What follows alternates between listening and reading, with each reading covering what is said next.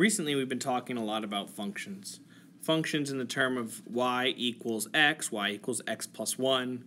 We've been evaluating these functions and we've been graphing these functions. We're going to talk a little bit more generally about functions and we're going to talk about some vocabulary around functions. A relation is any pairing of numbers. A function is a type of relation. A relation has two sets of numbers, the domain and the range. It's important to note for our purposes that the domain most closely refers to x values and the range most closely refers to y values. You can also think about them as input and output. So if we think about this in more abstract terms, we could say that a relation relates some body of numbers we'll call the domain. And it's this amorphous group of numbers, and it relates those to some other group of numbers we'll call the range. So, for instance, we might have numbers in the domain like negative 2, 0, 4, 5.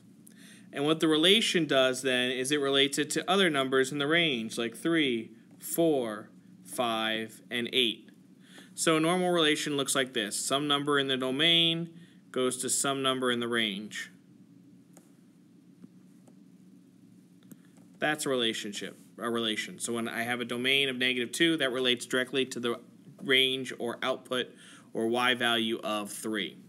Up to now, we've often written these in this sort of format where we have x, y as an input-output chart, and we'd write negative 2, 3, 0, 4, so on, so on, so forth. It's important to note that the values in the domain have to point to unique values in the range. What do I mean by that? Well, I mean that you can't have the number 2 point to, say, both 4 and 7 in the range. That's not allowed. Negative 2 has to point to one number and one number only in the range. So, for instance, 0 might point to 7, and 4 might point to 5, and 5 might point to 10. See how each number points to one other number?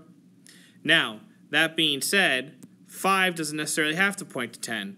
5 could also point to 7, just like 0 does, but it's still only pointing to one number and 0 is only pointing to one number. They're pointing to the same number, that's okay, but they can only point to one number.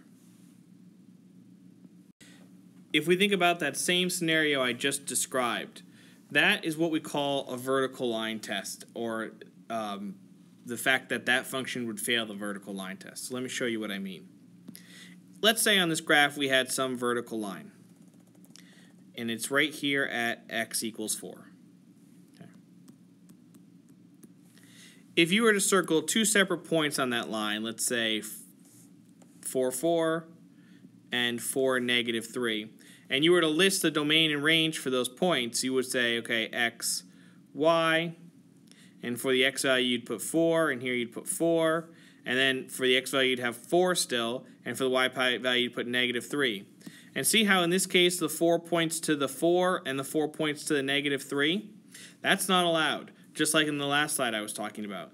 So this is not a function because it fails the vertical line test. And we call it the vertical line test because if on a function you can draw a vertical line and touch the function twice, then it fails the vertical line test. Let me show you another example. Let's say we had some function that looked like this, this sort of sideways u. Okay, It looks kind of like a parabola but on its side. The problem with this function is it's not a function because it fails that vertical line test. If I draw a vertical line through my function, I'm going to cross it twice, which means negative 2 is actually going to produce two results. It's going to produce 3, it looks like, or thereabouts, and negative 3, which is not allowed. However, if I have a function that looks like this, okay, you might say, well, doesn't that have the same problem? No. Draw a vertical line anywhere along this function, and you're still only going to cross it once. draw a horizontal line and you're going to cross it twice, but that's okay.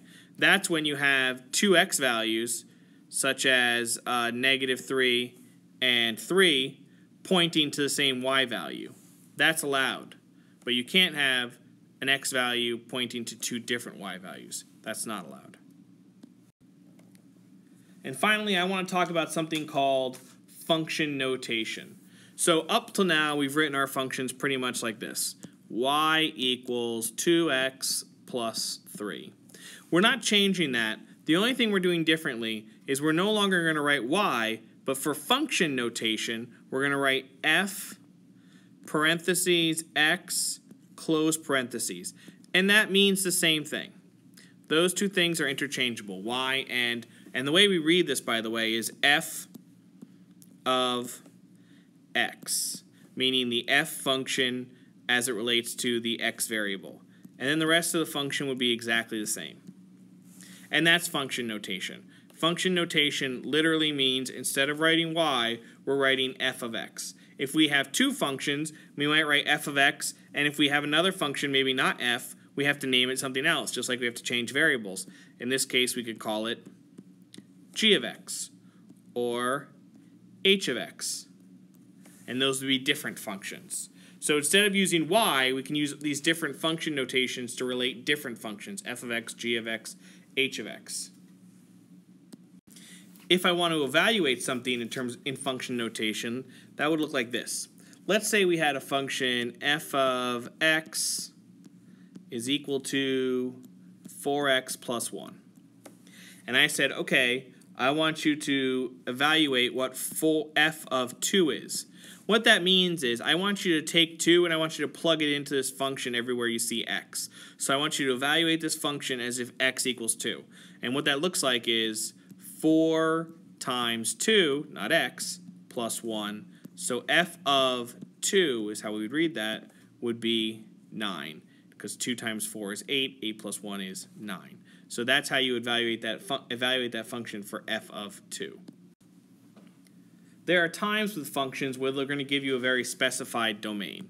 So let's look at another function. f of x is equal to, let's say, 1 third x and they're going to say, okay, I just want you to look at a very specific domain. I want you to look at 6 and 3 and 0 and negative 3 and negative 6.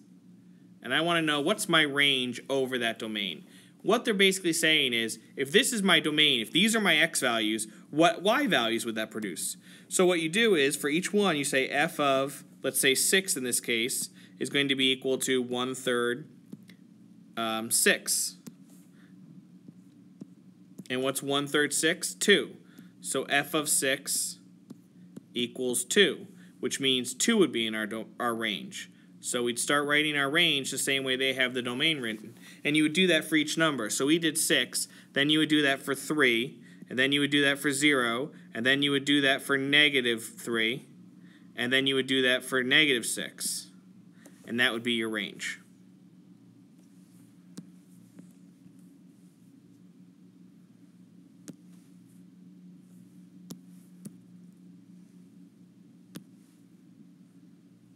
Your range would be if your domain is 6, 3, 0, negative 3, negative 6, your, your range would be 2, 1, 0, negative 1, negative 2.